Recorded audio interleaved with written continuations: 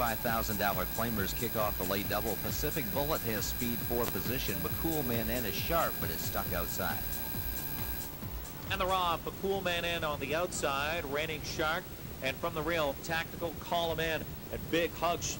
And now that one goes right to the cone, so it's Miller and Tactical Column in, and Big Hugs rides behind him second. Now here comes Raining Shark, continues on with it under urging as they head towards the quarter around the turn. Pacific Bullet got away fourth. The Cool Man N is going up fifth on the outside. Amazing Trick is sixth.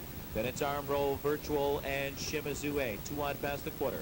Luc Ouellette in Raining Shark there, being urged on to take over 28 and 2. Raining try to keep it going, leads it by five lengths here. It's Big Hugs.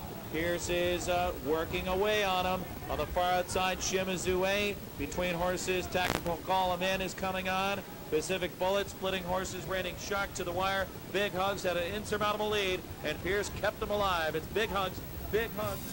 That's two wins tonight for the suddenly reviving Chris Heitbarn. McCool Man N was bearing out so badly that Manzi had to put both hands on the left line on the far turn.